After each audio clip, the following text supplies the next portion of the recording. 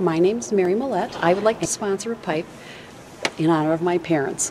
Well, my mom and dad were married at the cathedral in 1950, and my dad was buried here, and my brother was buried here, and my son was confirmed here. He was also baptized here.